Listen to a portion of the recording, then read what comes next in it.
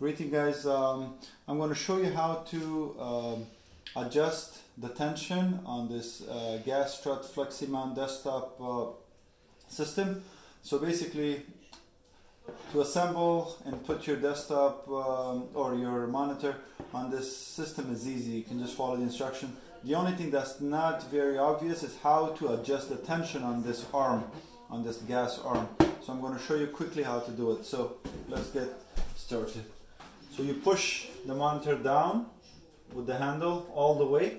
You take your Allen key that comes with the system and you turn this screw left to right, so righty tighty, all the way till this screw doesn't move or doesn't turn anymore. And it's locked in place, the tension is loaded, and after that you can move it to your liking as much as you want. So it's very easy.